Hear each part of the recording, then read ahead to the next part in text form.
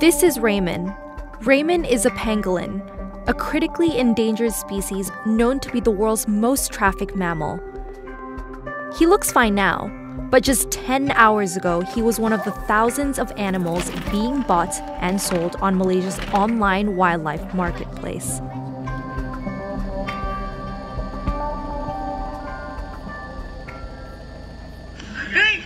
In Malaysia, illegal wildlife are being sold on social media as exotic pets. Business is booming.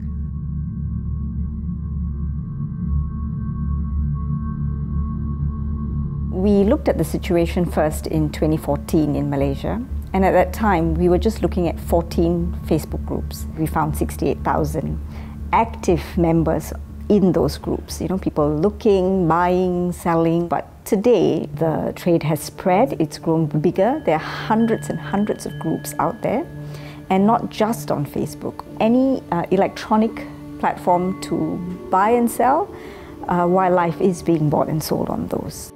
These traders mostly supply exotic pets, but we found that they can also supply animals threatened with extinction. So these are messages exchanged with an online wildlife trader whom we approached to buy a pangolin from. Now, um, he says he usually does not offer pangolins for sale to customers, but once we approached him to buy a pangolin, he was basically able to offer us one within a week. And since then, whenever he has a pangolin, he would offer it to us.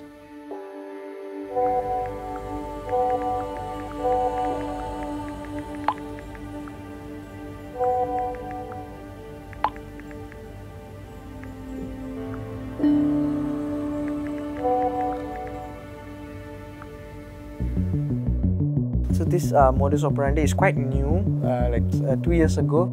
Ramli has been monitoring the online wildlife trade for over six years. He reports any illegal activity he witnesses to the authorities. Previously, everyone was like brave, uh, they were brave enough to do cash on delivery because that time the enforcement wasn't very strict in this uh, wildlife trade via social media. Number of them got caught, and they actually being brave as well because they actually changed the modus operandi by selling uh, by sending the animals via the bus. The customer pay through bank transaction. They will actually not see the seller. According to Ramli, this modus operandi was started by one particular trader. Which one you say is the most active online wildlife trader now? Currently, it's Kejora Pets. Journalists and netizens have exposed Kejora pets before.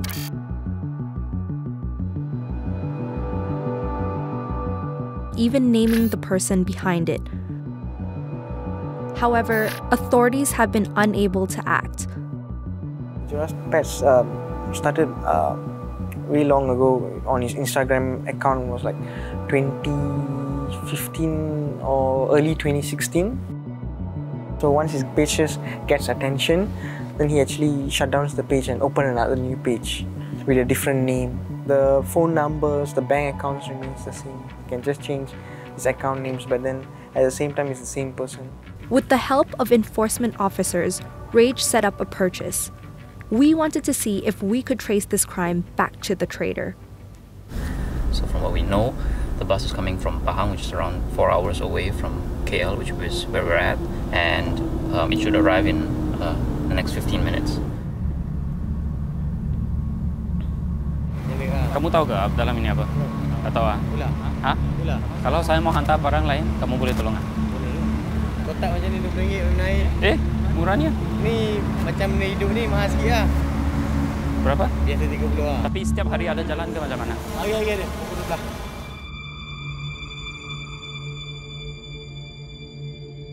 Enforcement officers advised against making any arrests. Under current laws, there simply isn't enough evidence to convict the trader.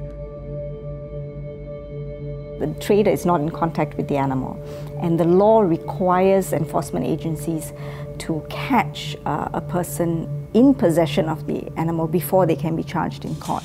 So that is one of the difficulties with uh, online wildlife trade because uh, trying to catch an illegal online wildlife trader is like trying to catch a shadow. Anyone can set up an account under any name, not necessarily their own. So, you know, hunting them down is really, really quite difficult and making the connections that are necessary to prove a case in court is also very difficult.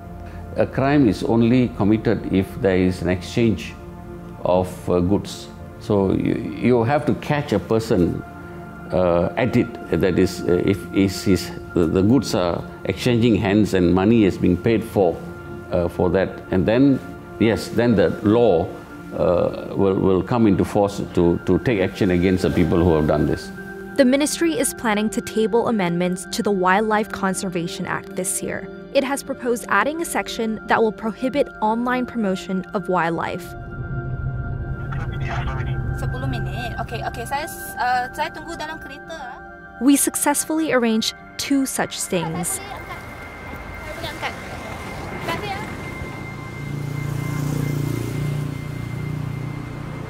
But it still wasn't enough. Online wildlife traders like Kejora Pets continue to operate freely.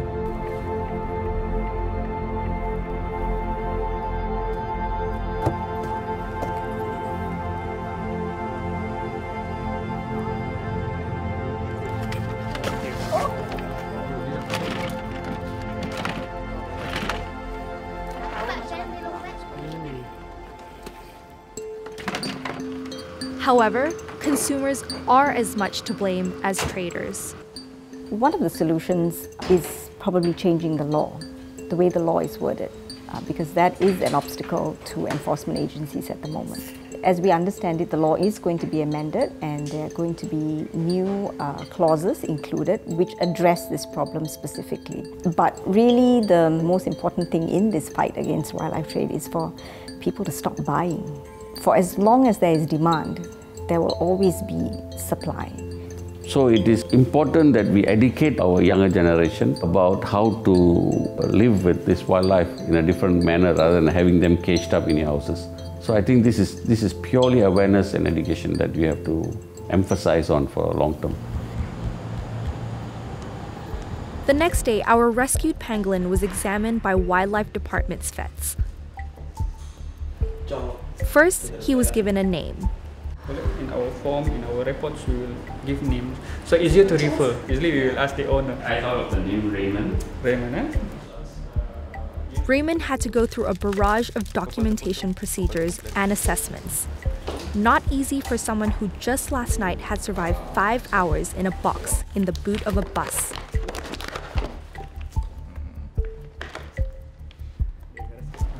It wasn't easy for the vets either.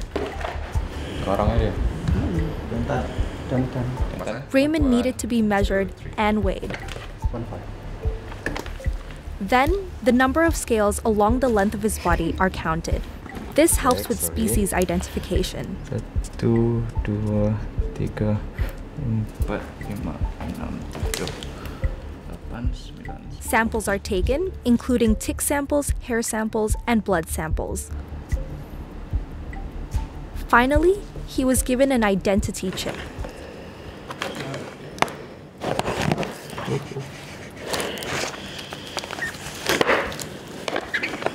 This chip helps researchers and enforcement officers identify animals that have been rescued before. Is it calm enough that's why? Yeah, Close to a bit, already. a bit calm now. Ambil gambar dia suka tu. Now properly documented and diagnosed as healthy, Raymond is ready to be released back into the wild. Pangolins are nocturnal animals, so they are usually released at night.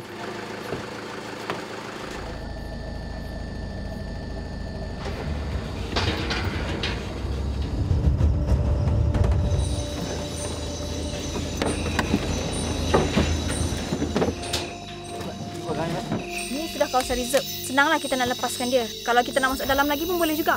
Tapi kita ambil faktor juga. Semalam dah gelap kan? Risiko juga. Ah, So kita ambil yang kat sini lah. Dan satu lagi kita senang nak tengok. Dan situ pun ada pokok. Biasanya dia boleh panjat. Okay.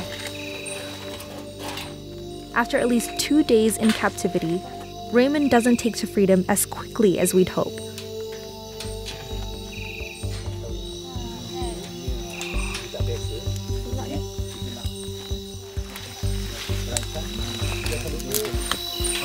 Dapat.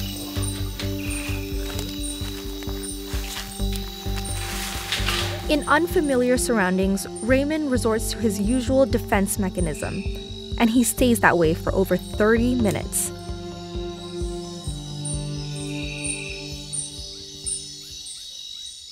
Finally, he smells freedom.